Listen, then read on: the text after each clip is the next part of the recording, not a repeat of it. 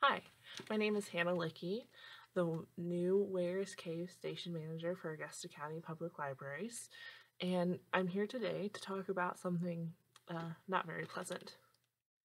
Stiff by Mary Roach explores the after lives of human cadavers. In the author's own words, death. It doesn't have to be boring. This is an intriguing, hilarious, and heartwarming story of bodies and how they are improving medical research, criminal investigations, and even the scientific search for the human soul.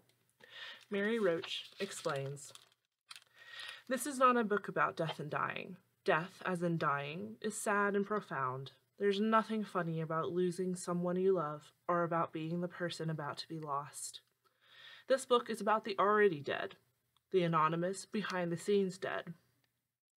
Many people will find this book disrespectful. There is nothing amusing about being dead, they will say. Ah, but there is. Being dead is absurd. It's the silliest situation you'll ever find yourself in.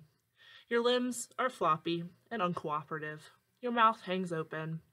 Being dead is unsightly and stinky and embarrassing, and there's not a thing to be done about it.